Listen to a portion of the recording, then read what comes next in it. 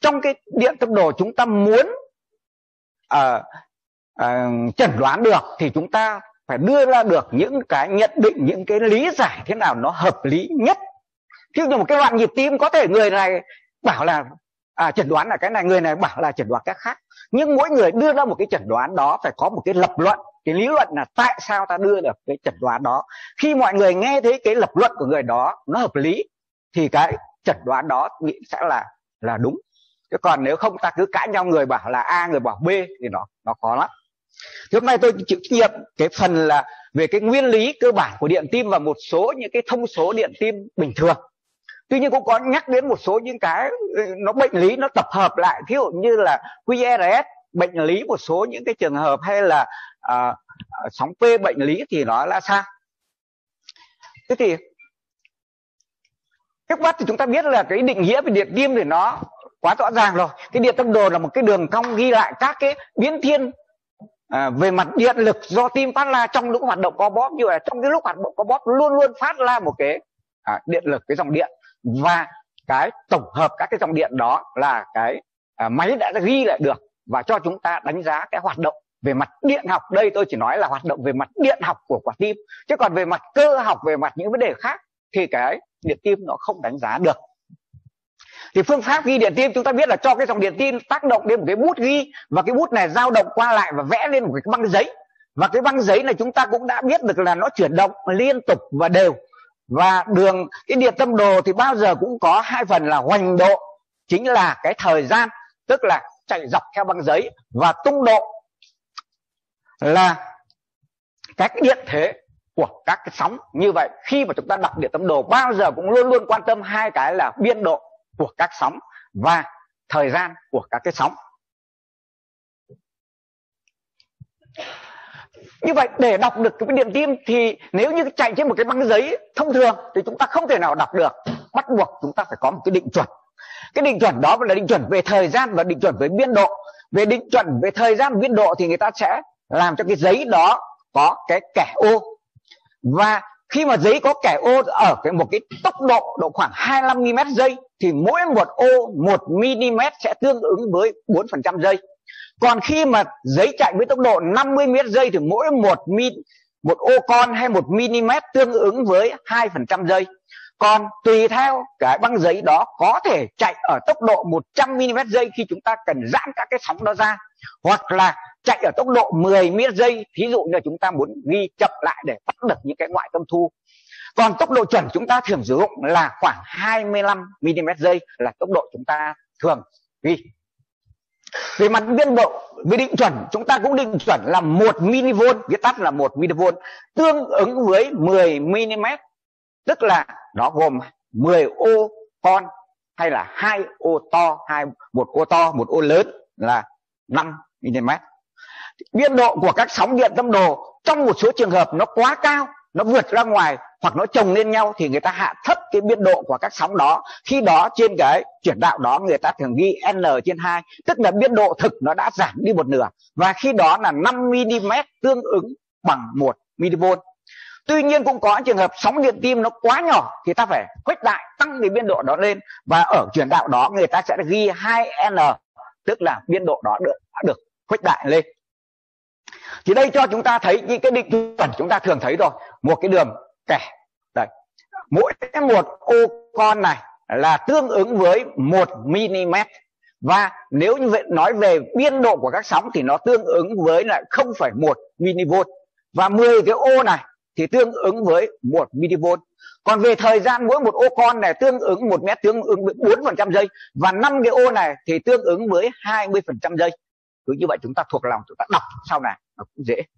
Và để mà xem cái máy đó hoạt động hay không trước khi bao giờ người ta cũng làm định chuẩn là cái test của cái máy định chuẩn. Đây thì khi định chuẩn à, vuông góc là một mV tương ứng với 10 mm và khi làm điện tim chúng ta thấy đầu hoặc cuối các bản điện tim bao giờ cũng có cái test để để cho chúng ta xem là cái máy nó có chính xác không.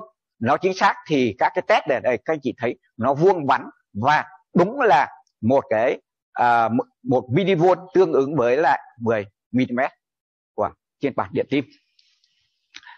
Bây giờ để hiểu được tại sao nó có dòng điện tim thì bao giờ chúng ta cũng phải hiểu được hoạt động của từng tế bào cơ tim và từng tế bào cơ tim thì nó thể hiện bằng cái điện thế hoạt động của các tế bào cơ tim đó trong quả tim nó như thế nào. Rồi từ điện thế của từng tế bào cơ tim đó sẽ tổng hợp ra cái điện thế của cả quả tim và chúng ta đã ghi được. Thế thì lấy đại diện của một từng tế bào cơ tim thì chúng ta thấy thế nào? Khi tế bào cơ tim nghỉ, nó ở trạng thái không phải co bóp, nó nghỉ ngơi, thì sao? Thì có sự chênh lệch về nồng độ của ion natri kali canxi giữa mặt trong và mặt ngoài màng tế bào. Thì natri ở mặt ngoài màng tế bào cao gấp 10 lần ở trong tế bào. Chúng ta đến xét nghiệm máu, kali là ở ngoài tế bào là 140 mấy nó cao gấp 10 lần là trong tế bào. Còn canxi ngoài tế bào cao gấp 1.000 lần ở trong tế bào. Còn kali trong tế bào cao gấp 30 lần ở ngoài tế bào. Như ngoài tế bào, nó khoảng 4 đến 5 mếch thì trong tế bào cao gấp 30 lần. Như vậy là có một cái sự chênh lệch nồng độ các ion đó giữa trong và ngoài tế bào qua cái vách, cái màng tế bào. Và cái tình trạng các ion này chênh lệch như vậy đã lập lại một cái tình trạng gọi là trạng thái nội môi hàng định. Và cái trạng thái này này, nó phù hợp với duy trì cái sự sống bình thường của các bào cơ tim. Chứ còn nếu như khi cái tình trạng nội môi này mà thay đổi, kéo dài, tế bào cơ tim có thể chết.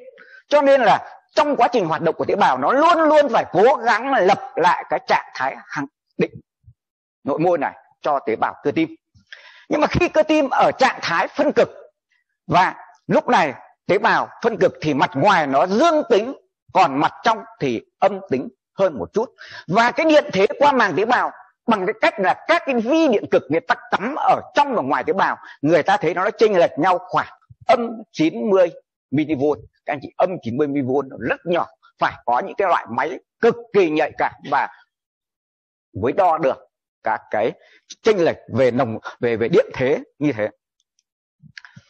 Bây giờ, các quá trình điện học của tim là do cái sự biến đổi hiệu điện thế giữa mặt trong và mặt ngoài tế bào cơ tim.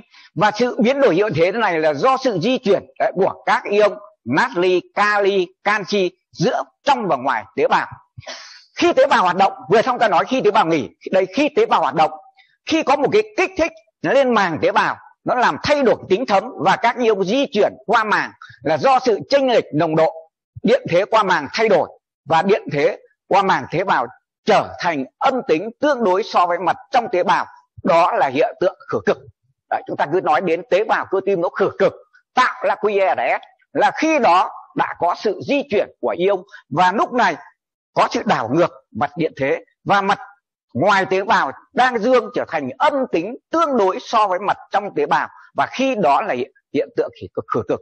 Và hiện tượng khử cực lúc này là khi đó tạo ra cái phức bộ QRS nếu như ở cơ thất hay là sóng P ở cơ nhĩ và khi đó chúng ta sẽ thấy sự tương ứng giữa QRS và điện thế hoạt động của tế bào cơ thất như thế nào thì ta sẽ thấy là là nó biểu hiện ở trên cái hình. Sau đó, như trên tôi nói, tế bào này lập lại thăng bằng với ion lúc nghỉ. Nhờ vào cái bơm ion, ngoài màng tế bào sẽ trở lại dương tính tương đối so với mặt trong tế bào. Và đó là hiện tượng tái cực. Chúng ta cứ thế nói đến tái cực, tức là đoạn ST và sóng T khi đó là có hiện tượng lập lại thăng bằng ion và cái lập lại là vì ion phải bơm ngược theo chiều nồng độ, phải nhờ một cái bơm ATP AZA chúng ta thấy ATP AZA sử dụng năng lượng của tế bào để bơm các ion quay trở lại trạng thái ban đầu. Đây là một cái đường cong điện thế hoạt động của một cái tế bào cơ tim mà đây là, thí dụ như là cơ thận. Chúng ta thấy ở cái trạng thái lúc nghỉ. Lúc nghỉ. Thì cái điện thế qua màng tế bào là đi ngang và nó khoảng âm 90 mV bây giờ khi có một cái kích thích tác động vào cái màng tế bào, bắt đầu ion di chuyển. Đầu tiên để ion natri di chuyển ào ạt từ ngoài vào trong tế bào đây. Thì tạo cho, làm cho cái đường cong điện thế hoạt động, cái điện thế tăng từ âm 90 độ tăng vọt lên và có thể lên đến dương 20 mV. Sau đó, tốc độ của di chuyển của ion này giảm xuống. Đây, thì cái điện thế này cũng hơi giảm xuống, tạo nên cái giai đoạn là giai đoạn 1 rồi sau đó các ion này bắt đầu giữ ở cái mức tương đối hàng định và có một cái giai đoạn, gọi là giai đoạn cao nguyên là giai đoạn 2 và sau đó tiếp tục các ion natri tiếp tục giảm xuống là ở giai đoạn 3 và lúc này, các ion khác như là canxi cũng đã di chuyển từ ngoài vào trong tế bào. Hết giai đoạn 3 thì bắt đầu, cuối giai đoạn, từ giai đoạn 3 này ion can ion kali từ trong tế bào đi ra ngoài tế bào. Đây, chúng ta thấy là nhiều. Và ở cái giai đoạn 3 này, có sự di chuyển của cả ion kali sau đó, đến giai đoạn 4 là cái giai đoạn như trên tôi đã nói, bắt đầu cái điện thế qua màng tế bào trở về trạng thái ban đầu. Và lúc này có sự hoạt động của bơm ATPase ra nó đẩy natri từ ngoài tế bào vào trong tế bào và canxi cũng như vậy. Và nó đi ngược với cái nồng độ của các ion ban đầu để tạo ra cái chênh lệch nồng độ của các ion qua màng tế bào như trước lúc có cái tác nhân kích thích. Thì đây là một cái điện thế hoạt động của một tế bào cơ tim mà đây đại diện là cơ nhĩ hoặc là cơ thất. Thế còn lại của tế bào nút xoang, nút nhĩ thất, nó sẽ khác. Vậy thì đường cong điện thế hoạt động như trên là tôi đã nói, nó gồm 5 giai đoạn. Đây. Giai đoạn không là cái giai đoạn khử cực nhanh. Lúc này ion ào ạt đi vào. Giai đoạn 2 giai đoạn 1 là cái dòng nát đi, giảm đi và điện thế qua màng giảm xuống mức gần như bằng không. À. và đến giai đoạn hai là giai đoạn tái cực chậm. Lúc này là đã sang giai đoạn tái cực, tức là tương ứng với đoạn ST rồi sau đó là tái cực nhanh, mà ta biết tái cực nhanh là giai đoạn 3 là tương ứng với sóng T. Thì chúng ta hiểu cái này, sau này sẽ liên quan đến vấn đề sử dụng các thuốc chống rối loạn nhịp tim và đến giai đoạn 4 là lại trạng thái hằng môi nội, hằng trạng thái nội môi, tức là bơm ion trở lại cái trạng thái chênh lệch nồng độ ban đầu.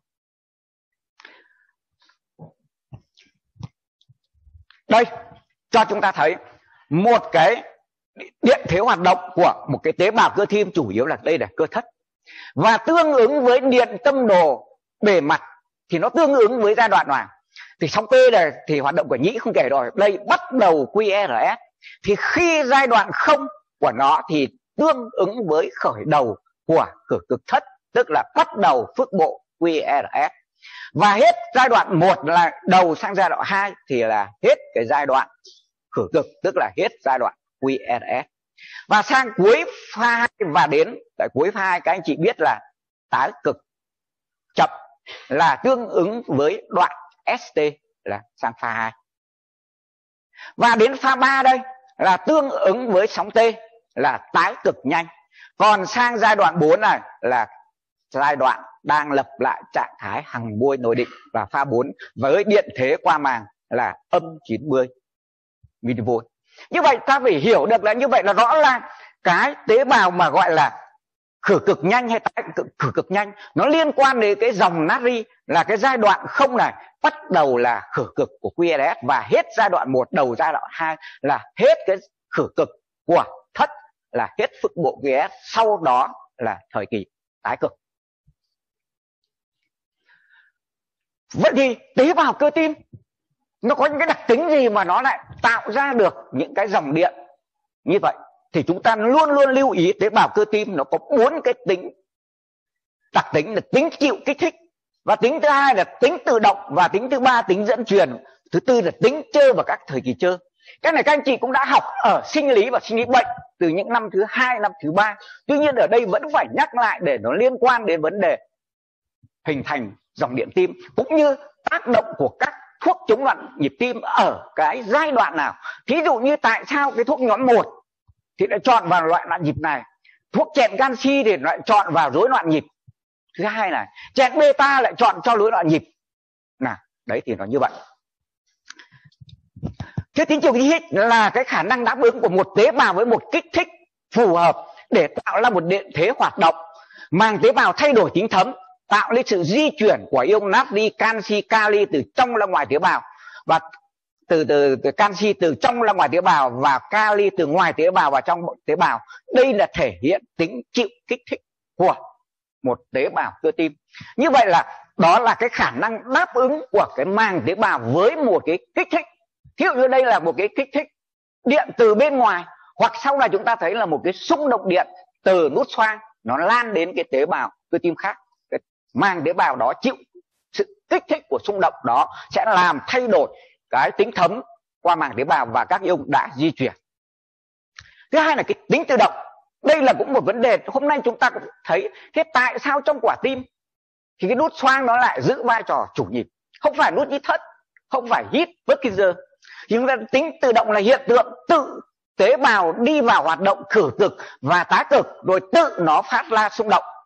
Thì tại sao nó có cái tính này? Thì ở giai đoạn 4 của cái đường cong hoạt động, thì chúng ta thấy bình thường tế bào cơ tim nó đi ngang. Nhưng ở những tế bào này nó có một cái dòng nó gọi là dòng natri chậm từ ngoài vào trong tế bào làm cho tế bào có hiện tượng tự khử cực chậm tâm trương Đấy, tế bào nó tự khử cực quản bản thân nó. Đấy. và ở giai đoạn 4 của đường cong điện thứ hoạt động sẽ thấy rằng nó không đi ngang mà đi dốc dốc thoải lên. Nếu như khi nó đi đến mức đạt được cái điện thế ngưỡng và điện thế ngưỡng này thường là âm 70 mV thì tự nó kích thích. Tự nó kích thích nghĩa là thế nào? Tự nó phát ra một xung động. Rồi nó tự nó khử cực, tự nó tái cực. Rồi phát ra một xung động và xung động đó sẽ được truyền sang những tế bào bên cạnh. Thì đấy là cái tính tự động. Và đây là cái hiện tượng sinh lý có ở cái tế bào biệt hóa của quả tim như là nút xoang, nút nhĩ thất, bó hít, nhánh, bó hít, mạng với cây dơ. Tuy nhiên cái khả năng phát xung động của chúng khác nhau là do tốc độ của cái dòng natri tâm trương này nó khác nhau. Cho nên là cái phát xung của các cái tế bào à, tế bào tự động này nó cũng khác nhau. Cái tính dẫn truyền đó là cái khả năng truyền đạt cái kích thích từ tế bào này sang tế bào bên cạnh nghĩa là cái quá trình khử cực rồi tái cực nối tiếp diễn ra từ tế bào này sang tế bào khác. Và cái tính dẫn truyền này tức là truyền đạt cái xung động từ tế bào này sang tế bào khác nó phụ thuộc vào cái dòng natri nhanh ở một số tế bào. Tuy nhiên, có những tế bào mà có dòng natri nhanh như là cơ nhĩ, cơ thất bó hít và nhánh bó hít, mạng Purkinje, thì cái dòng natri nhanh này giữ vai trò quan trọng trong cái dẫn truyền. Và đấy người ta gọi là tế bào có đáp ứng nhanh, tức là khả năng truyền xung động. Của nó rất nhanh, dẫn truyền xung động nó nhanh. Tuy nhiên, những tế bào nút xoang, nút nhĩ thất không có dòng natri nhanh. Đấy, các anh chị lưu ý. Không có dòng natri nhanh. Thì tính dẫn truyền của nó lại phụ thuộc vào dòng canxi và natri chậm. Và giai đoạn khử cực của những tế bào này đi thoái thoải, gọi là tế bào đáp ứng chậm. Đấy, các anh chị sẽ thấy rằng là cái đường cong điện thiếu hoạt động của nút xoang nó không đi thẳng vút lên khi có dòng natri nhanh, mà nó đi thoải thoải do cái dòng canxi chậm. Bây giờ thang tính chơ và các thời kỳ chơ thì cơ tim chỉ đáp ứng với các kích thích ở những thời điểm nhất định chúng ta biết rồi. Kích thích lúc tim co thì nó không đáp ứng và kích thích lúc tim giãn thì có đáp ứng.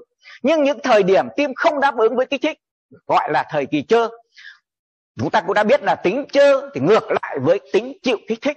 Và cái một kích thích làm cho tế bào nó đáp ứng hay nó khởi cực thì nó phải đảm bảo hai điều kiện. Thứ nhất là nó có cường độ đủ lớn, tức là nó đạt điện thế qua, màng là phải vượt quá âm 70 mV tức là đạt được điện thế ngưỡng nếu như một cái xung động kích thích nào yếu hơn không đạt được đến âm 70 mV thì nó không làm cho các tế bào đó kích thích cũng như không làm cho các tế bào bên cạnh đáp ứng được. Như vậy tế bào đó phải có cường độ đủ lớn tức là phải trên 70 mV và thứ hai nó phải xuất hiện vào thời điểm tim không chơ. Cái đó chúng ta cũng đã biết khi học sinh lý và sinh bệnh rồi.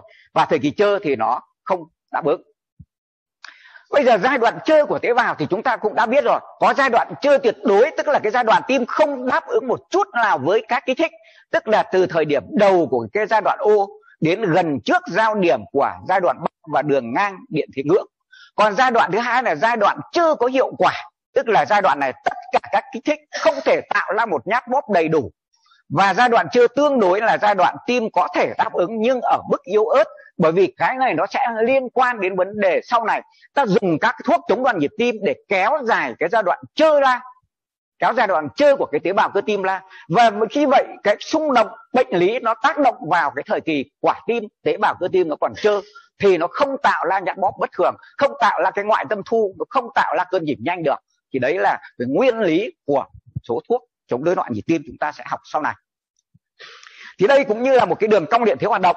Thì giai đoạn chơi tuyệt đối là cái giai đoạn, đây, từ bắt đầu giai đoạn không cho đến điểm gần cuối của giai đoạn 3 thì bất kỳ một kích thích dù lớn dù yếu vào đây, tim đang co, không có đáp ứng.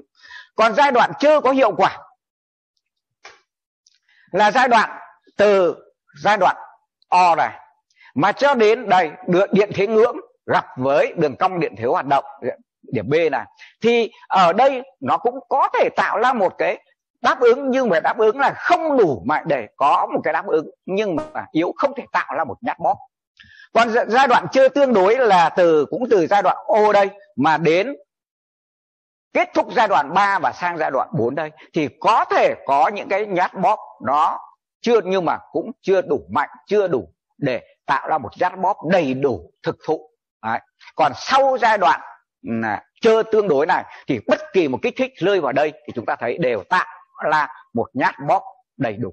Như vậy, tùy theo cái xung động đó rơi vào giai đoạn nào của cái đường cong điện thế hoạt động, có thể tạo ra, không thể tạo ra nhát bóp nếu giai đoạn chơ hoặc là tạo ra nhát bóp không đầy đủ nếu giai đoạn chơ tương đối, hoặc là tạo ra một nhát bóp đầy đủ nếu quả tim ra khỏi thời kỳ chơ Thế đây cho cùng chúng ta nhìn toàn cảnh lại các cái đường cong điện thiếu hoạt động của các tổ chức tế bào cơ tim thì chúng ta thấy nút xoang đây. Đấy, nó không phải đi thẳng vuốt lên vì cái đường cong điện thiếu hoạt động của nó phụ thuộc giai đoạn không này phụ thuộc vào ion canxi. Và chúng ta cũng hiểu phụ thuộc ion canxi sau này chúng ta thấy rối loạn nhịp xoang chúng ta có thể dùng các thuốc chẹn kênh canxi hoặc là ở nút nhĩ thất nhịp nhanh vào lại nút nhĩ thất hoặc các rối loạn nhịp mà có liên quan đến nút nhĩ thất chúng ta có thể sử dụng các thuốc chẹn kênh canxi để tác động vào cái nút nhĩ thất để làm điều trị các cái rối loạn nhịp tim. Rồi đến, đến nút nhĩ thất cũng như vậy. Cái đường cong điện thiếu hoạt động đấy nó cũng đi thoai thoải lên và ở cái giai đoạn 4 nó cũng đi à, à, dốc dần dốc dần lên. Nhưng mà độ dốc của nó không bằng nút xoang bởi vì cái tốc độ của dòng natri tâm trương ở đây nó chậm hơn. Rồi đến thân bò hít và rồi là cơ nhĩ cơ thất mạng Purkinje đây các anh chị thấy đều có giai đoạn không à, đi thẳng vút lên vì đây phụ thuộc dòng natri nhanh. Rồi giai đoạn một giai đoạn 2 giai đoạn 3 tuy nhiên ở cơ nhĩ và cơ thất cái giai đoạn 4 này nó đi ngang.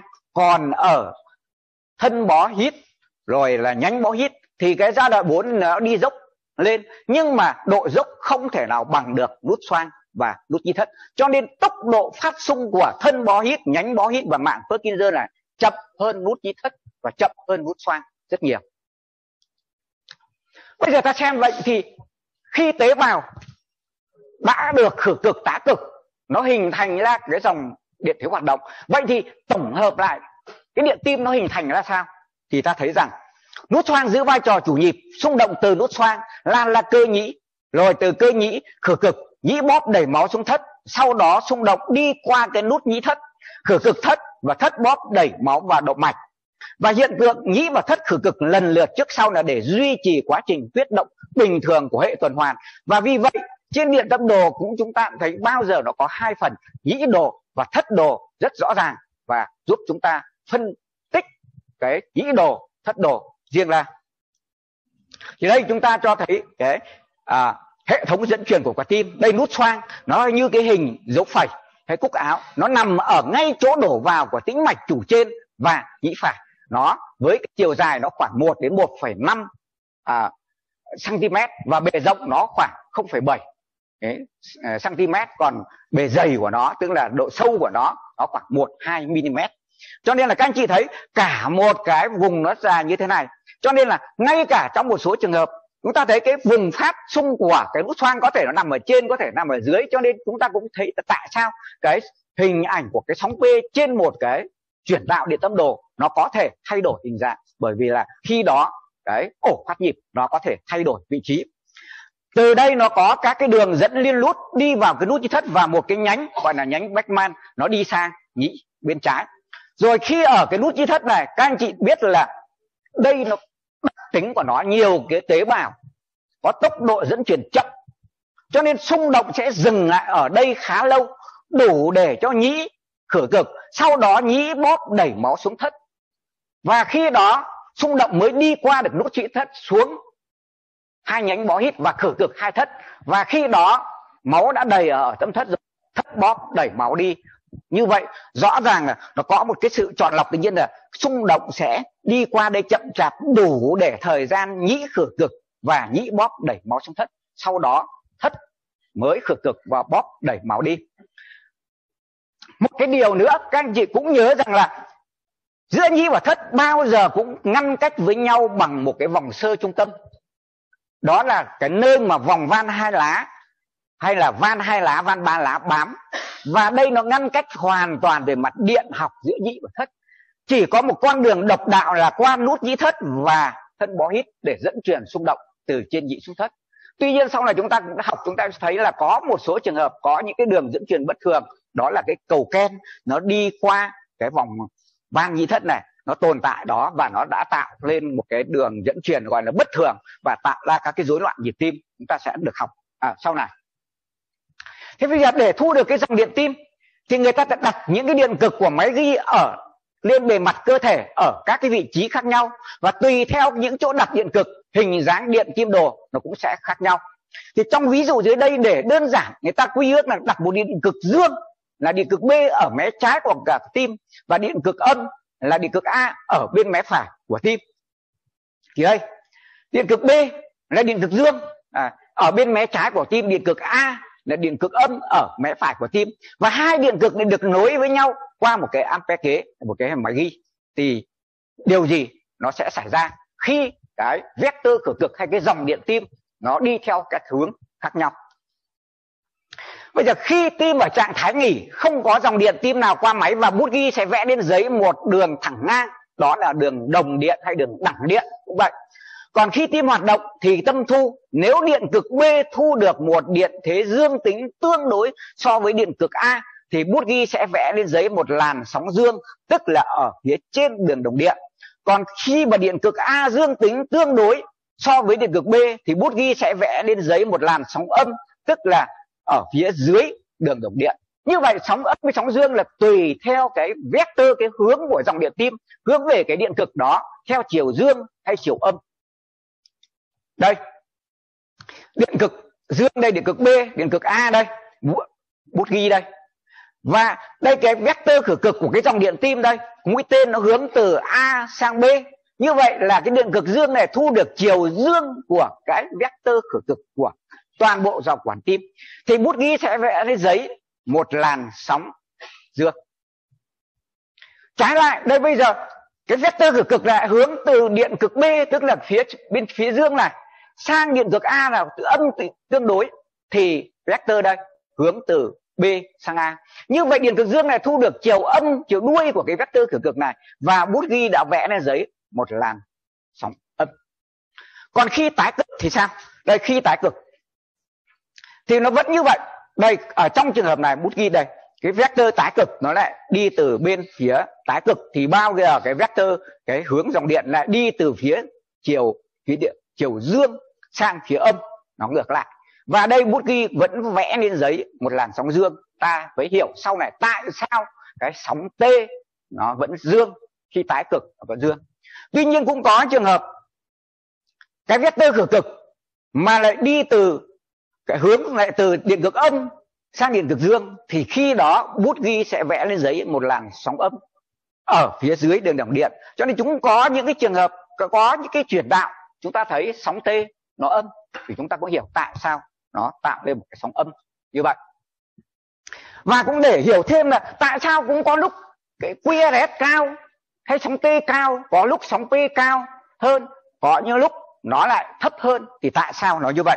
Thì nó phụ thuộc vào vị trí của cái điện cực đó so với cái vector cực cực. Ví dụ đây, một cái vector cực cực, nó song song với cái trục của cái chuyển đạo này ví dụ đây là chuyển đạo một chẳng hạn D một hay một chẳng hạn, thì đây nó song song như vậy cái vector này mà chiếu lên cái điện cực này thì sẽ có cái độ lớn là lớn nhất. Các anh chị thấy đây, nó chiếu lên lớn nhất.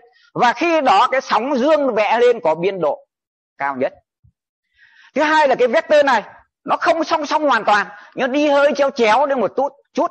Như vậy khi chúng ta làm cái động tác xem cái độ lớn của cái vector khử cực của cái dòng điện tim này so với cái trục này chúng ta hạ cái chiều vuông góc xuống. Thì nó vẫn lớn nhưng mà nó không bằng được lúc nó chạy song song này. Thì khi đó bút ghi sẽ vẽ lên giấy vẫn một làn sóng dương nhưng biên độ sẽ thấp hơn. Và tương tự như vậy đây chúng ta thấy nó gần như là à, chưa phải là vuông góc nhưng là chéo đi rất nhiều. Thì làn sóng đó vẫn dương hướng nó vẫn về chiều dương của cái vét của cái trục chuyển đạo này, nhưng mà biên độ của nó nhỏ đi rất nhiều. Còn đây, trong trường hợp này, vector đi lại ngược với lại cái trục của cái chuyển đạo này, nó đi từ phía điện cực dương sang phía âm này, thì bút ghi sẽ vẽ làn sóng âm, nhưng mà biên độ là lớn nhất. Còn đây trong trường hợp này, thì nó vẫn hướng về phía chiều âm của cái trục chuyển đạo đó nhưng mà nó đi chéo chéo thì bút ghi sẽ vẽ một làn sóng âm nhưng biên độ thấp hơn. Còn đây trong mọi trường hợp vector vuông góc với cái, cái dòng điện tim hay là cái vector cực cực của cái cái cái uh, trục điện tim đây thì chúng ta thấy là nó vuông góc cho nên điện thế của nó bằng không và trên giấy sẽ không thấy một sóng nào cả. Như vậy là biên độ lớn của các sóng phụ thuộc vào hướng của các cái vector khử cực đó so với cái trục điện tim nó như thế nào, tương quan giữa hai cái cái yếu tố đó. Hay đây cũng đơn giản hơn cho chúng ta thấy rằng là nếu như đây là cái vector khử cực của một cái dòng điện tim, thì nếu như cái điện cực đặt ở đây thu được trực diện của cái vector khử cực này, thì vẽ lên giấy một làn sóng dương hoàn toàn. Còn ở đây điện cực này thu được chiều âm của cái vector khử cực này và trực diện chiều âm thì sẽ vẽ lên giấy một làn sóng âm. Còn cái làn, cái điện cực này ở giữa và vuông góc thì chúng ta thấy là cái sóng đó có thể là dương và âm bằng nhau. Âm và dương. Là khi giá trị đại số của hai sóng này nó gần như bằng không. Thế còn cái điện cực này đặt cũng không trực diện với cái vector này nhưng mà nó hơi lệch đi một chút thì chúng ta thấy sóng dương cao hơn sóng âm còn điện cực này thì hướng về phía lệch, về phía đuôi của cái vector cực cực này, thì chúng ta thấy sóng dương nhỏ hơn sóng âm. Như vậy là rõ ràng vị trí điện cực đặt ở các vị trí khác nhau, tương quan với cái vector cực cực của dòng điện tim khác nhau, thì hình ảnh điện tim nó sẽ khác nhau. Bây giờ dĩ đồ nó hình thành là như thế nào? Xung động từ nút xoang lan, la dĩ phải rồi. Ờ, sang nhĩ trái, nên hướng chung của nó là từ trên xuống dưới và từ phải sang trái. Và lúc này điện cực B là dương tính tương đối so với điện cực A và máy ghi sẽ vẽ lên giấy một làn sóng dương thấp nhỏ tẩy đầu với thời gian khoảng 8% giây. 8% giây tức là hai ô con được gọi là sóng P, đó là cửa cực của nhĩ. Khi nhĩ tái cực thì nó có phát ra một dòng điện ghi được lên máy bằng một sóng âm nhỏ ta gọi là TA tức là tái cực của nhĩ nhưng mà nó bị che khuất trong phước bộ QRS cho nên là trên điện tâm đồ chúng ta không bao giờ thấy được cái sóng cực của tâm nhĩ mà sau này chỉ thấy được cái sóng tái cực của tâm thất mà thôi. Đây là khởi cực của tâm nhĩ chúng ta thấy rằng là cái vector khởi cực này nó hướng từ trên xuống dưới và từ phải sang trái. Và vẽ lên một cái sóng P là nhỏ tay đầu. Tuy đây người ta vẽ sai là mấy ô, đúng là nó chỉ có hai ô con thôi. Đây, chúng ta thấy khởi cực của tâm nhĩ của hai. Để tâm nhĩ đã tạo ra một vector cực hướng từ trên xuống dưới, từ phải sang trái. Và trên điện tâm đồ tạo ra sóng B. À. sau khi nhĩ khởi cực rồi, như trên tôi nói, xung động sẽ đi vào cái nút nhĩ thất.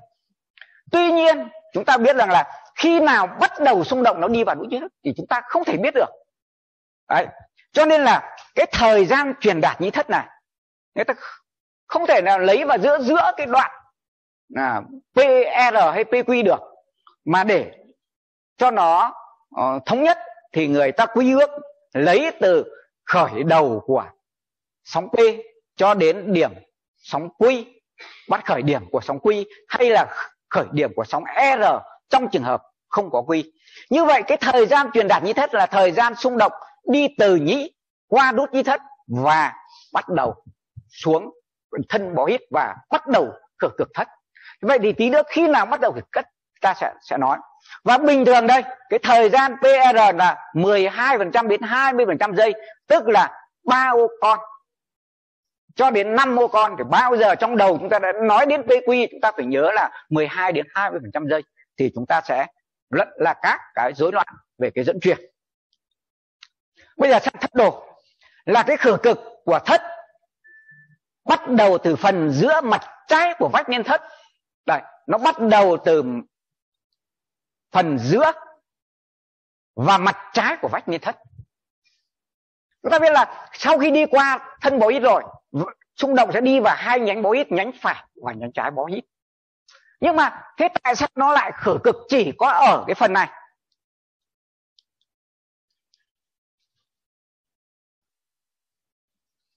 Đấy, khử cực ở phần giữa.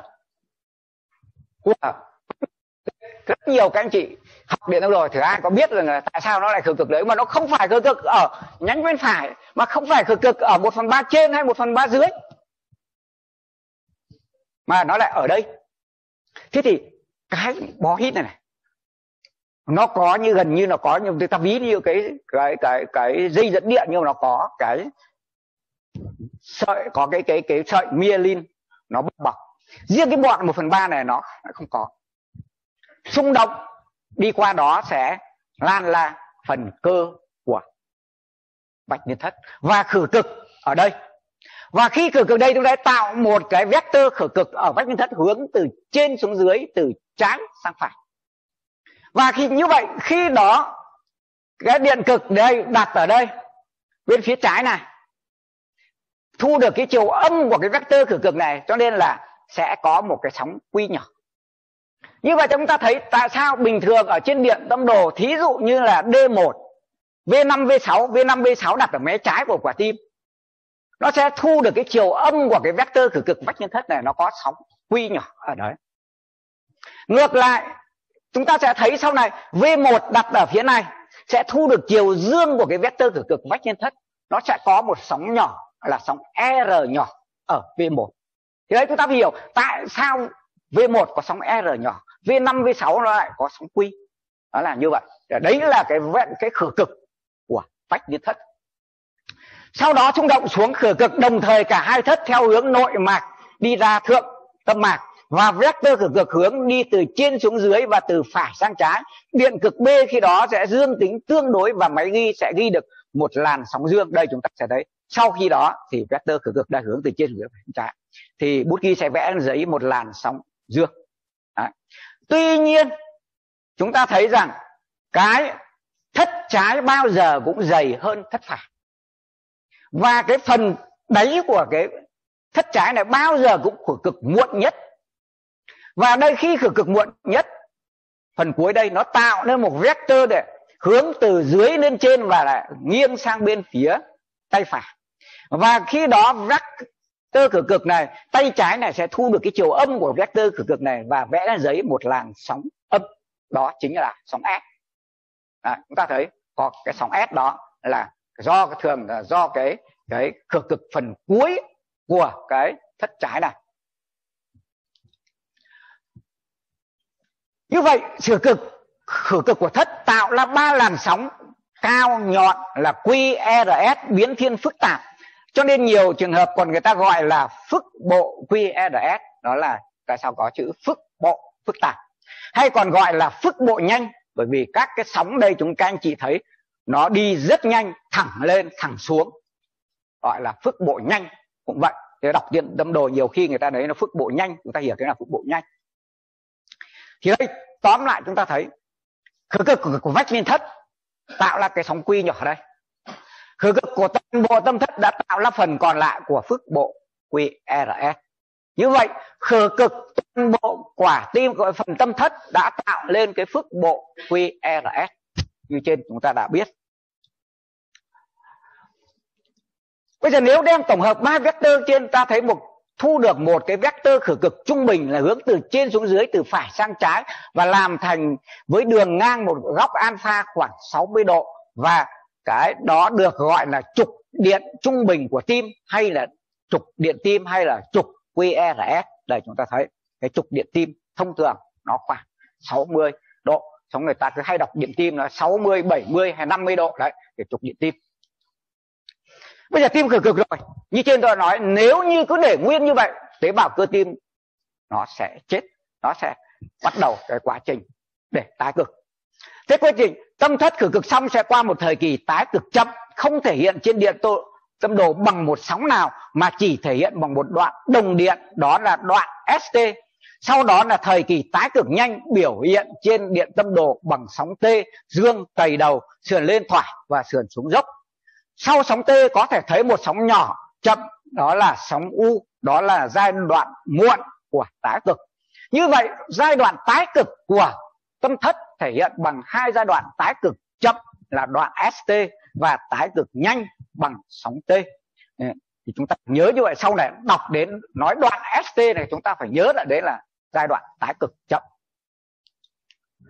Đây đoạn ST là tái cực chậm, sóng T tái cực nhanh. Sóng U là một giai đoạn muộn của tái cực và đây là một chu chuyển tim bình thường. Các cái chu chuyển này cứ lặp đi lặp lại. P q r s STT cứ lặp đi lặp lại. Chu chuyển của tim một ngày, các anh chị biết nó khoảng 100 đến 120 nghìn nhát bóp như vậy. Cứ lặp đi lặp lại như vậy. Bây giờ các cái chuyển đạo thông dụng thì các anh chị biết rồi, tôi cũng chỉ nhắc sơ qua thôi. Đó là các cái chuyển đạo mẫu. Thì chuyển đạo mẫu thì có ba cái chuyển đạo là chuyển đạo một à, hay là hay trước đây chúng ta hay gọi là D1 rồi chuyển đạo 2 nó mã hay là trước đây hay gọi là D2 rồi chúng ta quen rồi. Hay chuyển đạo 3 hay là D3 cũng như vậy. Và cái cách cái mắc đó thì các, các anh chị cũng biết rồi. Tuy nhiên chúng ta nên nhớ rằng là trong thực tế rất nhiều người hay mắc nhầm các điện cực. Và khi mắc nhầm điện cực thì dễ đến chúng ta đọc sai tí sẽ nói cái chuyện mắc nhầm điện cực. Ba cái chuyển đạo này ông chị thấy nếu như trên cơ thể nó sẽ lập lại thành như một cái tam giác đều đây D1 là giữa tay phải và tay trái và âm ở tay phải, dương ở tay trái. D2 thì dương ở tay phải, âm ở tay phải và dương ở chân trái. Và D3 là âm ở tay trái và dương ở chân trái. Như vậy là chúng ta thấy D2 D3 đây này. Thế nó hướng xuống phía chân trái. Sau này còn một chuyển đạo nữa là AVF bây giờ ngoài ra còn ba chuyển đạo. Đơn cực, các chi, nhưng mà là có tăng thêm. Chuyển đạo đơn cực, các chi thì a, v, R R là right, tay phải. V là chữ voltage A là cái chữ tăng thêm augmented à, tăng thêm. AVL là chuyển đạo đơn cực ở tay trái có tăng thêm. AVF là chuyển đạo đơn cực ở chân trái và điện thế đã có tăng thêm. Như vậy là các anh chị thấy ba chuyển đạo này là chuyển đạo đơn cực, chứ không phải là lưỡng cực như ba chuyển đạo trước. Và ba, sáu chuyển đạo này, trên điện tâm đồ các anh chị thấy nó sẽ làm lập thành một cái, nằm trên một cái mặt phẳng, đứng chắn ngang, chắn đứng với cơ thể con người như thế này. Và đây các anh chị thấy ba chuyển đạo này là ba chuyển đạo nhìn xuống phía chân, hay người ta gọi là ba chuyển đạo dưới lên một vùng chuyển đạo và các chị thấy đấy tại sao vậy? Là nhồi máu cơ tim thành dưới. Chị thấy ở D2, D3, AVF thì ba chuyển đạo là nhìn dưới mặt dưới của tim. Còn AVL và D1 nó nhìn sang phía trái hay là phía vai trái nó cùng với V5, V6 cũng lập thành một miền chuyển đạo ở trên quả tim. Và nhồi máu thành bên hoặc thành bên cao thì sẽ thấy ở AVL D1 V5 V6 riêng chỉ có thằng AVR này nó ngược lại nó đi lên phía vai phải. Cho nên chúng ta cũng dễ hiểu tại sao AVR P âm QRS âm và T âm vì vector của nó hướng lên phía vai phải ngược với hầu hết các chuyển đạo khác. Đấy. và đây các chị cũng luôn luôn nhớ rằng là ba chuyển đạo này D2, D3, VF đã hướng xuống phía chân là lập thành một miền chuyển đạo ở phía dưới. Và nhồi máu cơ tim thành dưới sẽ bao giờ cũng thấy hai trong ba chuyển đạo này bây giờ chuyển đạo trước tim thì chúng ta cũng biết rồi. V1, V2, V3, V5, V6 thì các anh chị ở đây cũng đều biết cách mắc rồi. À, tuy nhiên chúng ta phải nhớ rằng là chúng ta phải xác định đúng cái khoang liên sườn.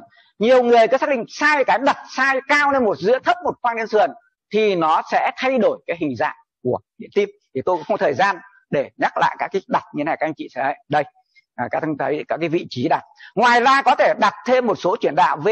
3R, V4R hay là một số những cái chuyển đạo à, khác như là V7 V8 V9 thì đây chúng ta cho chúng ta thấy mối tương quan của các chuyển đạo trước tim với quả tim. Thì đó rõ ràng V1 V2 nhìn vào phía thất phải và khối, khối cơ nhĩ. V5 V6 nó sẽ nhìn vào tâm thất trái.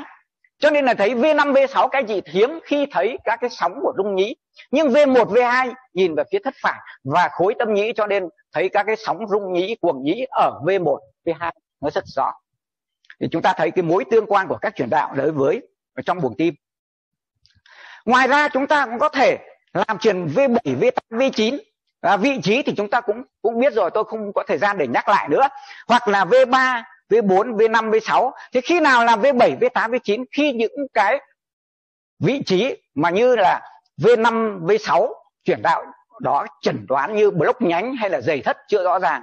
Hoặc đặc biệt là nhồi máu cơ tim thành sau. Hay có người còn gọi là sau thực. Nó là đúng thực sự là ở phía sau của quả tim. Thì phải làm V7, V8, V9 thì mới thấy dấu hiệu trực tiếp. Còn dấu hiệu gián tiếp trong trường hợp đó nó sẽ thấy ở V1 là cái phía bên đối diện lại phía trước này. Cho nên là khi thấy sau này chúng sẽ nói đến cái phần QRS khi thấy những cái dấu hiệu mà nghi ngờ nhồi máu cơ tim thành sau thì bao giờ cũng phải làm V7, V8, V9. Còn V3R, V4R, V5 bây giờ nhiều những cái như nhồi máu cơ tim sang bên phải rồi một số những cái khác vân vân chúng ta đều có chỉ định một số trường hợp chúng ta làm cái chuyển đạo thực quản ở đây các anh chị nhất là nội chú đi đến bây giờ cái không ấy khi chúng tôi mà ngày xưa ấy là bạn đã phải làm những cái chuyển đạo thực quản để chẩn đoán các cái rối loạn nhịp tim thì đến bây giờ tôi vẫn còn những cái hình ảnh mà tôi làm những cái chuyển đạo thực tim của uh, từ những cái năm tám mươi mấy đó. À, chúng tôi phải đã phải cho cái dây uh, dạ dày vào rồi lấy một cái điện cực cho đã vào đấy rồi mắc lên một cái máy điện tâm đồ tôi ghi lại. Tôi chẩn đoán các cái rối loạn nhịp tim. Thì đây thế thì một câu hỏi cũng đặt ra là tại sao một quả tim phải làm nhiều cái truyền đạo điện tim thế?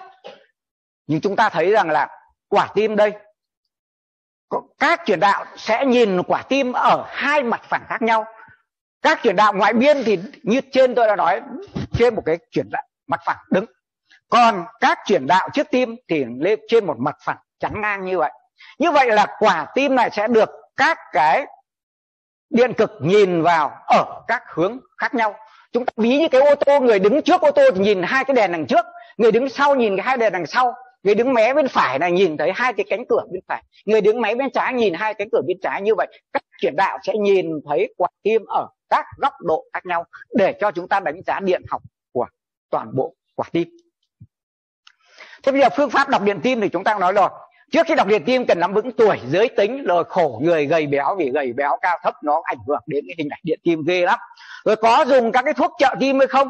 Bởi dùng thuốc trợ tim nó cũng ảnh hưởng đến thay đổi của STT vân vân, hay là thay đổi của đoạn PR đây, kiểm tra kỹ thuật ghi, phát hiện những sai mắc nhầm điện cực, định chuẩn, tốc độ, vân vân, những cái này rất là quan trọng khi đọc điện tim.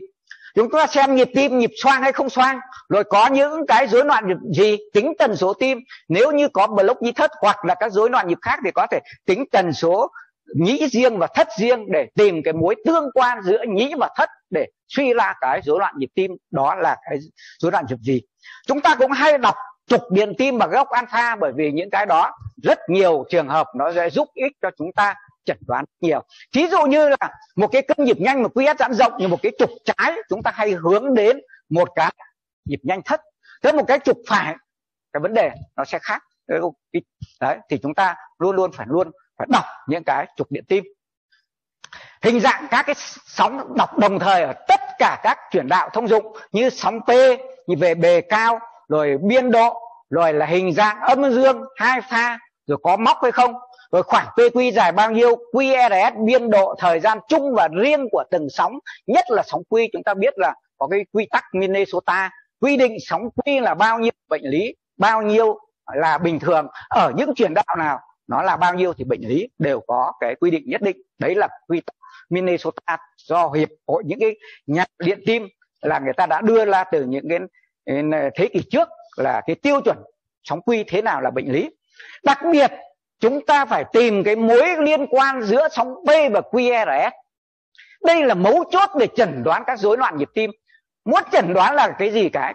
Các anh phải tìm được sóng T và tìm được cái mối tương quan của nó với QS e thì giải quyết được mọi chẩn đoán các rối loạn nhịp tim. Chúng ta xem đoạn ST có chênh hay không, nó chênh lên chênh xuống chênh kiểu gì, chênh đi dốc lên, chênh đi dốc xuống hay chênh đi ngang vân vân để kết luận cái sóng cái đoạn ST đó nó có bệnh lý hay không. Sóng T hình dạng nó dương hay nó âm hai pha và biên độ nó là bao nhiêu sóng T như chúng tôi đã nói sườn lên thoải sườn xuống dốc và đỉnh nó bao giờ cũng tẩy nó mà cao nó nhọn nó nhọn lên như QRS hoặc nhọn như sóng P, nó sẽ khác. Đặc biệt cái sóng T này không bao giờ có móc. Nếu như cái sóng T mà nó có một cái móc lên này, các anh chị phải xem lại. Đấy có phải là một sóng P phẩy rơi vào đó hay không? Đấy là một cái chúng ta cần lưu ý. Đặc biệt chúng ta không bao giờ quên được khoảng QT dài bao nhiêu và cuối cùng chúng ta đưa ra kết luận chẩn đoán về tổn thương điện học ở cơ tim hoặc là các cái rối loạn nhịp tim đó. Thì trên cơ sở phân tích đó chúng ta tổng hợp lại, chúng ta sẽ đưa ra các cái cái kết luận.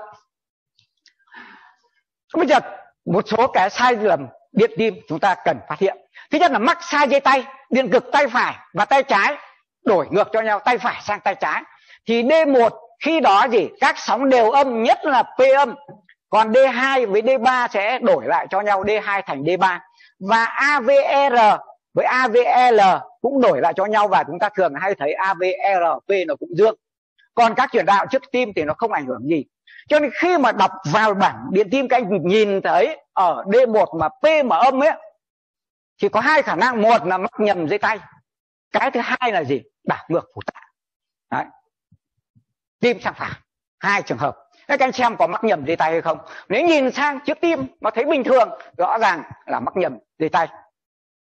Đặc điện cực, trước tim lẫn lộn thứ tự, không phải V1 V2 mà lộn sang V2 sang V1 vân vân. Thì cái đó chúng ta sẽ thấy được thứ tự, cái trình tự, các cái chuyển đạo các cái sóng QRS nó cứ tăng dần thì ta sẽ nói. Trước đây khi mà còn các cái, hay là các cái cơ sở cái điện tim của một cần hay là làm xong rồi mới đánh dấu thì hay dễ nhầm chuyển đạo nọ với chuyển đạo kia. Đặc biệt các anh chị lưu ý, hay nhầm điện tâm đồ người này với người khác thường xuyên gặp. Và ngay ở đây chúng tôi cũng thường xuyên gặp. Anh em làm xong vì nhầm người này, người khác. Người ta một chẩn đoán là một cái này, nhưng mai điện tâm đồ một cái nó khá bất thường. Chúng ta phải kiểm tra ngay lại xem có phải là nhầm điện tâm đồ hay không để phát hiện những cái sai trong quá trình à, ghi điện tim thì chúng ta thấy có một cái định luật Euven đó là gì?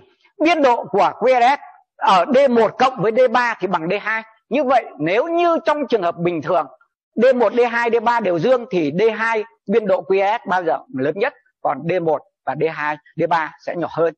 Thứ hai là tính chất liên tục của các chuyển đạo trước tim của các cái là do các cái chuyển đạo này đặt liên tiếp cạnh nhau nên là hình dạng của các sóng cũng phải biến thiên liên tục. Và thứ ba là chúng ta nên lưu ý cái tính chất giống nhau của một số chuyển đạo. Thí dụ như D1 à, AVL V5 V6 đây tôi nói là nó phía phía trái nó nhìn về phía vai bên trái. Cho nên là các cái sóng đó nó gần giống nhau vì có trục chuyển đạo gần như nhau. Hay là D2 D3 AVF nó đều nhìn xuống phía chân cho nên nó cũng gần gần giống nhau thì đây là các chuyển đạo à, ngoại biên thì chúng ta thấy D1 này D2 này D3 này. Thì D1 cộng với D3 sẽ bằng D2 là lớn nhất. Đấy. và ở D1 ấy, P bao giờ cũng dương và AVR P âm QRS âm T âm. Đấy. bình thường bao giờ cũng như vậy.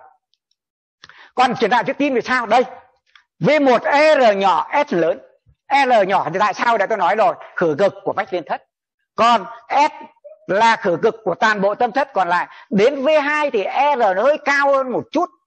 S thường là sâu nhất. Đến V3 R cao lên và S bớt sâu hơn và R và S gần gần bằng nhau. V4 cũng như vậy. Thì đây đây họ vẽ hơi sai là V3 V4 không bao giờ có quy. Không bao giờ có quy. Có quy là có vấn đề. Đấy. V4 V5 V6 thì sóng R cao và thường có thể V5 R cao hơn hoặc V6 R cao hơn. Đây chúng ta sẽ thấy này V1 R nhỏ, S lớn V2 R cao hơn, S sâu hơn V3 R cao lên nữa và S bớt sâu hơn. V4 R cao lên nữa, S nhỏ đi tí nữa. Nhưng đây không có quy, không có quy. V5 có quy R có thể cao nhất và à, sóng S còn nhỏ.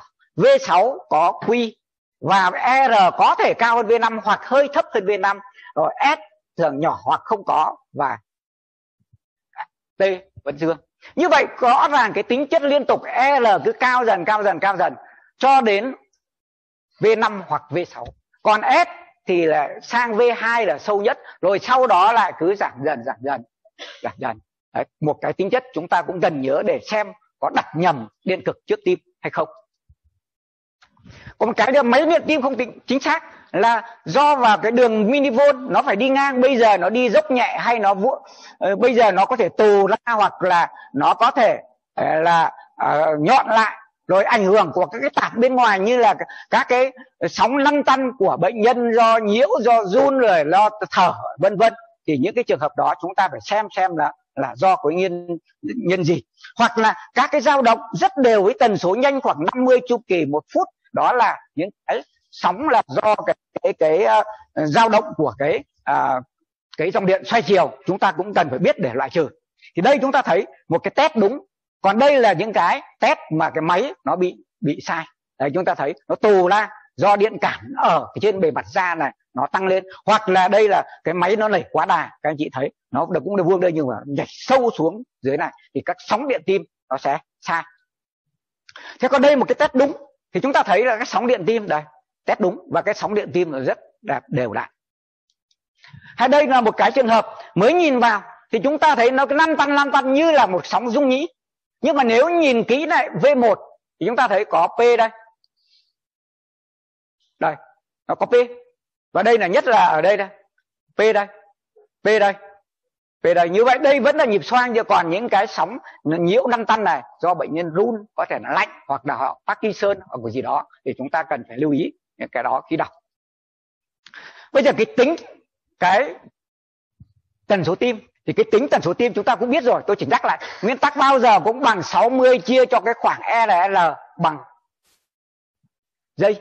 Còn trong trường hợp, những cái trường hợp nó, nhịp tim không đều, không vân vân, thì chúng ta lấy một số các cái sóng từ khoảng 10 sóng chúng ta chia trung bình. Thế còn trong trường hợp một số thông thường chúng tôi hay tính bằng cái gì? Tính bằng cái tần số tim bằng 300 chia cho số ô lớn giữa các cái khoảng RL.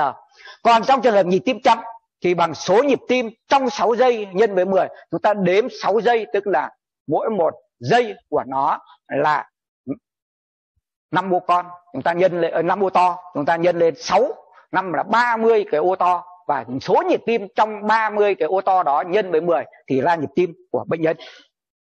Thì đây là một cái trường hợp chúng ta thấy là đây, chúng ta tính các cái số ô lớn giữa các hai cái khoảng RL nếu như cái sóng L này nó rơi vào đường kẻ động thứ nhất này thì tần số tim là 300 rơi vào đường kẻ động thứ hai là hai ô to thì 300 chia 2 150 rơi vào kẻ động thứ ba thì 300 chia cho 3 bằng 100 vân vân cứ như vậy. Thì chúng ta có thể tính nhanh được tần số tim. Thôi cái trục điện tim rồi thì chúng ta cũng không có thời gian thì tôi chắc là tôi cho qua cái phần này. Để tôi tôi tôi tập trung và đi vào số những cái cái cái à, cái phức bộ QS bệnh lý. Phải phân tích hình dạng các sóng thế nào là bình thường và thế nào là bất thường lưu ý cái gì cái sóng P là bình thường là bao giờ nó cũng ở D1, D2, AV, F, V3, V4, V5, V6 bao giờ cũng dương D3, AVL, V1, V2 đa số là dương có thể là âm nhẹ hoặc hai pha. Còn AVR bao giờ là cũng âm. Như vậy D3 này nó có thể là âm, có thể là hai pha. Cho vậy nhiều trường hợp các anh chị thấy P ở D3 nó hơi âm nó ồ thế nào? Bất thường có nhịp khi nhịp bộ nối chưa chưa à? Đấy, nó có thể âm ở D3 với mặt dù nó dương hay nó âm hay hai pha thì sóng P có thể có móc nhẹ hay trẻ đôi khác với sóng T. Sóng T không bao giờ có móc không bao giờ trẻ đôi. Có thể hai pha âm dương nhưng không bao giờ có móc không bao giờ trẻ đôi biên độ sóng P bình thường cao nhất ở D2 và biên độ bình thường của nó là từ 0,5 cho đến 2 mm trung bình nó là 1,2 mm ở trẻ em thì P hơi cao hơn ở người lớn. Ở trẻ em nó có thể lên đến 2,5 mm thời gian của sóng P tức là bề rộng của sóng P lớn nhất cũng ở D2 và thời gian đó nó từ 5% giây tức là trên một ô con cho đến 11% giây tức là dưới 3 ô con và trung bình nó 8% giây tức là hai ô con. Về sóng P bệnh lý thì sóng P có thể biến dạng âm dẹt lời là hẹp hoặc hai pha ở các chuyển đạo đáng lẽ nó phải dương hoặc trẻ đôi à, có móc sâu méo mó chát đậm thì phải nghĩ tới những cái tổn thương cục bộ ở nhĩ hay dày dán nhĩ các anh biết là dày nhĩ phải dày nhĩ trái. Hoặc là trong một số trường hợp nhồi máu cơ tim nó cũng có thể tổn thương ở tâm nhĩ.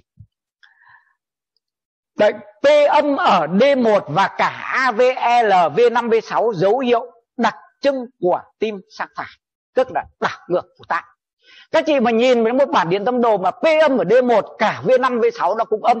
Và đương nhiên ở V5 V6 hình ảnh QRS nó cũng không bình thường như những trường hợp khác thì đấy là dấu hiệu của đảo ngược của tạng tim sang phải P thay đổi hình dạng trên cùng một chuyển đạo thì thường gặp là chủ nhịp lưu động hoặc ngoại tâm thu nhĩ.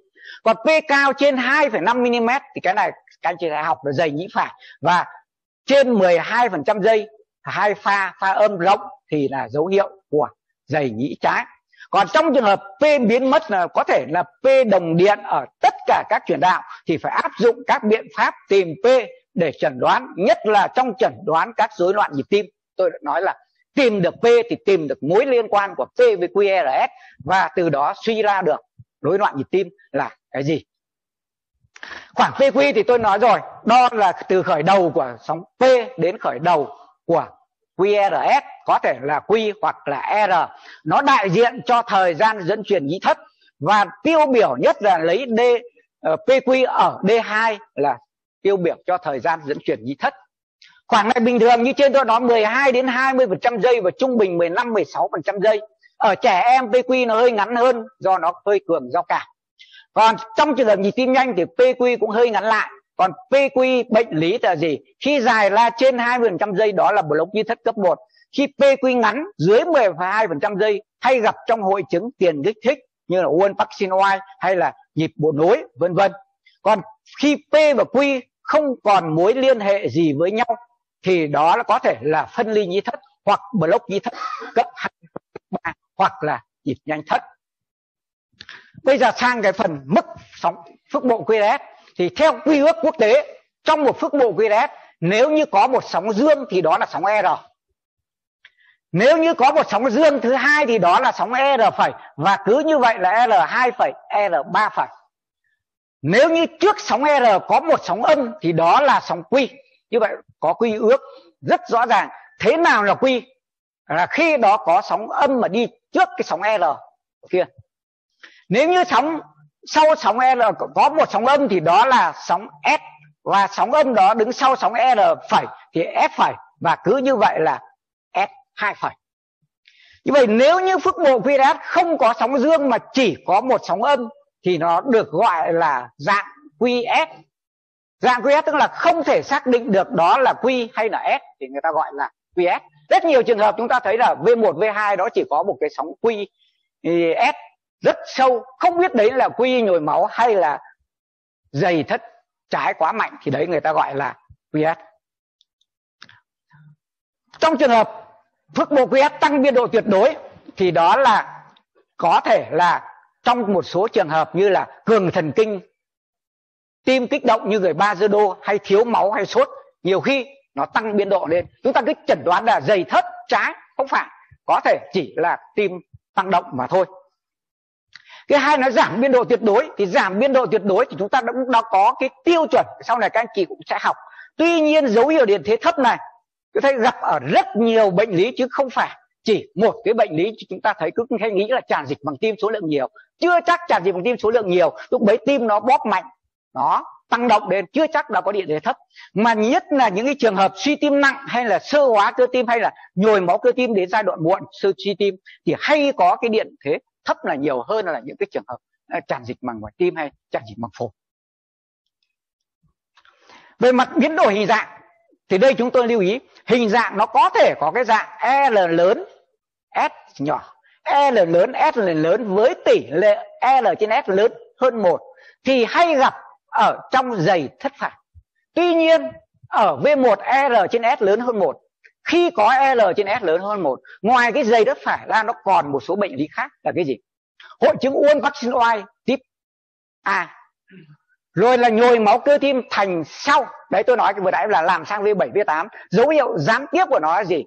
RV1 cao hơn sóng S tỷ lệ R trên S lớn hơn một.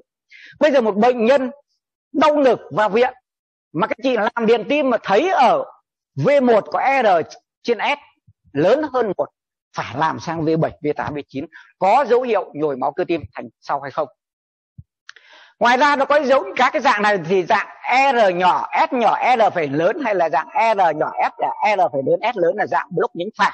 Rồi dạng QR à, thì hay gặp ở trong những như là nhồi máu cơ tim trước vách hoặc dạng QS ở V1, V2, V3 đấy như trên tôi nói. Có thể nhồi máu cơ tim trước vách có thể là dày thất trái mạnh hoặc block nhánh trái. Như vậy là khi đó như vậy là một cái dạng điện tâm đồ nhưng mà có thể gặp nhiều bệnh lý khác nhau. Chúng ta phải phân tích xem nó thuộc cái dạng bệnh lý gì. Còn V5 V6 khi QRS có một sóng R cao trên 25 mm thường là dày thất trái. Tuy nhiên tôi đã nói nhiều trường hợp khác có biên độ cao nhưng chưa chắc đã phải là dày thất trái.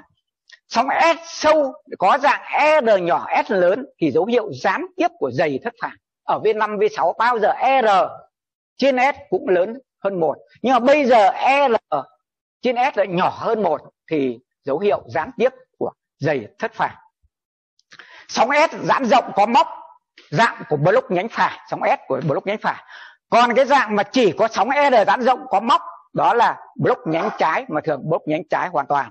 Còn thời gian QRS thì sao? Khi thời gian QRS vượt quá giới hạn tối đa 11% giây, tức là khoảng từ 11% giây thì có thể là block nhánh. Block nhánh có thể là block nhánh không hoàn toàn. Block nhánh hoàn toàn. Còn cũng có thể gặp QS giãn rộng là gì? Hội chứng uôn vaccine oai. QS cũng giãn rộng. Hoặc là ngoại tâm thu đánh rộng hoặc là nhịp nhanh. Thấp QS giãn rộng. Như vậy, khi mà chúng ta gặp một cái bản điện tâm đồ, mà thời gian QS giãn rộng, thì có thể, như trên tôi nói, block nhánh, có thể block nhánh phải, block nhánh trái. Có thể hội chứng uốn trên oai, uốn trên oai có thể là bên phải hoặc bên trái. Có thể là nhịp nhanh thất hay không. Vậy thì chúng ta phải phân tích xem nó thuộc cái loại nào. Cái đoạn ST chúng ta như trên đã nói vị trí của nó thì là một cái đoạn thẳng đi từ điểm G, tức là kết thúc QRS tới khởi điểm của sóng T. Nó rất khó xác định về mặt thời gian và ít sử dụng trên lâm sàng, mà người ta hay chú ý đến hình dạng của nó và vị trí của nó so với đường đồng điện. Vị trí của nó có thể là chênh lên trên đường đồng điện, còn gọi là ST dương, hay trên xuống dưới đường đồng điện, còn gọi là ST âm. Nó có thể đồng điện, tức là nó trùng với đường đồng điện, hay là ST đi ngang đây khi chênh lên, chênh xuống, nó còn có thể đi ngang, đi dốc lên hay dốc xuống. Nó cũng có thể là thẳng đuỗn hoặc là uốn cong lên hay uốn cong xuống. Như vậy, cái thay đổi của hệ đoạn ST này, nó rất là đa dạng. Chúng ta phải tập phân tích, tập làm quen để chúng ta nhớ. Thì sau đây chúng ta sẽ cho thấy một số cái ví dụ. Còn ở người bình thường, đa số là ST đồng điện, hoặc là có thể hơi chênh lên nhưng mà không quá nửa mm tức là 0,5 mm đây là biết xa.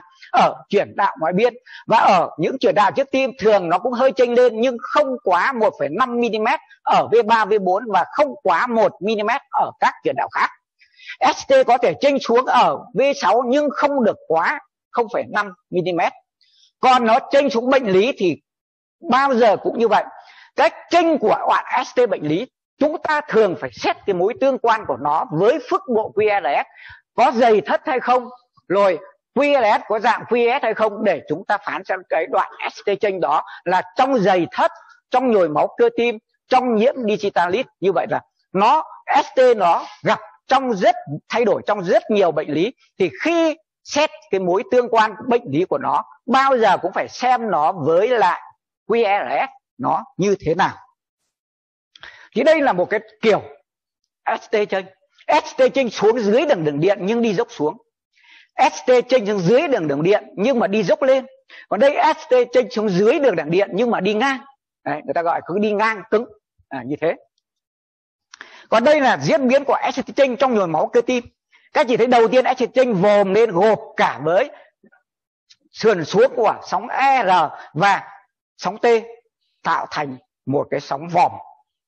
Rồi sau đó có sóng quy hoại tử và ST nó bớt chênh xuống và sóng T đã tách ra âm. Đây gọi là sóng vành tắt đi. Rồi sau đó sóng Q vẫn tồn tại ST về đằng đằng điện. Rồi là T âm. À, còn cái dấu hiệu chiếu máu. Hoặc là sau đó T nó có dương trở lại. Như vậy rõ ràng đoạn ST nó thay đổi theo từng giai đoạn của nhồi máu cơ tim cũng như từng bệnh lý một mà chúng ta cần phải xét cái mối tương quan. Hay đây một cái ST chân nó trái chiều với QS QS đây dương, nó vọ võng xuống. Thì đây là cái tranh hình đáy chén trong nhiễm digitalis. Thế còn nếu như QS đây mà âm, thì nó là tranh vòm lên như là cái mái nhà. Thì đấy là tranh của cái cái cái nhiễm độc digitalis. Tuy nhiên trong cái cái nhiễm digitalis thì nó tranh vòm lên nhưng mà nó không phải cái sóng quy hoại tử, mà thường nó vẫn có thể, nó có cái sóng R ở đằng trước thế đây cũng là một đoạn ST chênh mà của một bệnh nhân chúng tôi ghi được trên cái Hunter điện tim. Và đây là cái mà các anh chị ờ, từ xưa nay cũng hay nói đến và chúng tôi qua thực tế là Hunter điện tâm đồ và cũng như qua thực tế chụp mạch vành chúng tôi đã ghi được thấy là cái gì. Đây là cái chúng ta cứ hay nói là co thắt mạch vành. Cái thuật ngữ co thắt mạch vành trước đây cũng không để nhưng mà về sau thấy là có thắt đây là một cái hiện tượng. Cơn đau thắt ngực kiểu primetan là do trên cái mạch vành nó có một cái tổn thương sau đó vì một yếu tố nào đó nó có thắt lại, có thắt lại cái đoạn đằng sau thiếu máu thì đầu tiên là st chênh nên nó hơi chênh ít thôi.